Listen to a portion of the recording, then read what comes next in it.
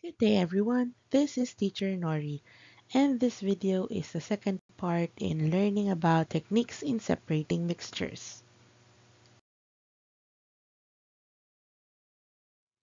Why do we need to separate mixtures? There are situations or circumstances where we need to separate mixtures, like in recycling water, desalination of water, washing things, and extraction or recovery of reusable materials. In the first video, we have discussed about filtration, evaporation, and distillation. In this video, we are going to start with decantation. Decantation is used in separating insoluble solid-liquid mixtures and immiscible liquid-liquid mixtures with different densities. The separation is done by gently removing one of the components by tilting the container. Examples of mixtures separated by decantation are water and rice and water and oil.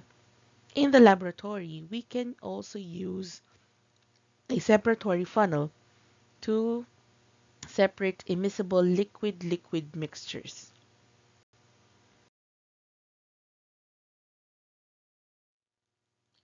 Sieving is another technique in separating mixtures.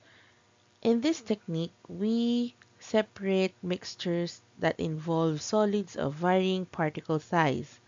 The larger particles will not be able to pass through the sieve, thus separating the particles by size. This is another form of filtration, but th this only works for solid-solid mixtures. Examples of mixtures that can be separated by sieving are gravel and sand, flour and salt, and fishing.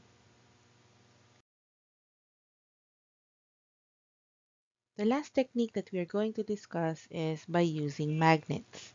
In this technique, we need to separate mixtures where one component is made up of iron or is magnetic. Examples of its use are in waste segregation and in picking metallic objects from wood chips or sand.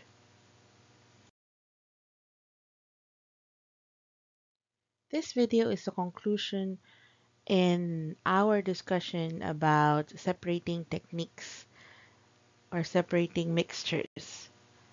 There are several types more that you can find. Why not try looking for them? Until next time.